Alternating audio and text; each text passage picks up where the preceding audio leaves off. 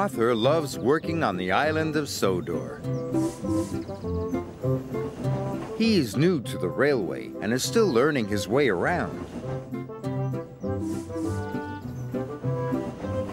One morning, he discovered the fishing village. The sun made the water sparkle, and the seagulls called across the harbor. This was Arthur's favorite place.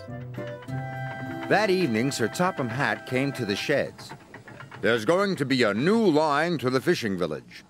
I have to decide which engine shall run it. He paused impressively. Thomas and Percy looked away. They had enough work to do. Arthur hoped he would be chosen. Thomas, you will work on the new line. Yes, sir, said Thomas, but he really didn't like the smell of fish. Arthur was disappointed. Sir Topham Hatt sent him to haul coal to the steelworks.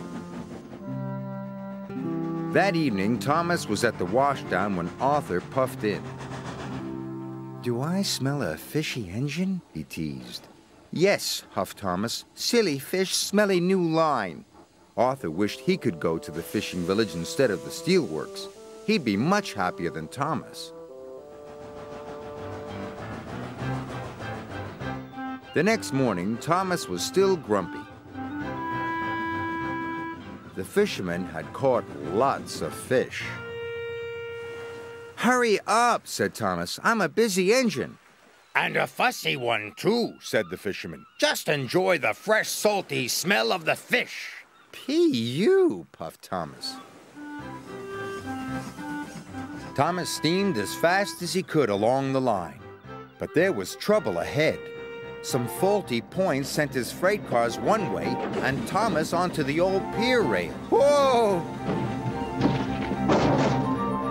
The troublesome trucks were delighted. He's falling in the water! Luckily, Thomas wasn't hurt, and the fish freight car stayed on the tracks. When Sir Topham Hatt heard the news, he checked his timetable. Arthur is the nearest engine. I'll send him right away. It was a hot day. The ice that was keeping the fish cold started to melt. I hope someone comes quickly, moaned Thomas. That fish will spoil soon. Arthur was surprised to see Thomas in the tidal pool. Are you all right, Thomas? No, but I'll be much better when you take these fish away. The breakdown van will be here soon, called Arthur's driver. Arthur knew he had to hurry. He raced along the line to the docks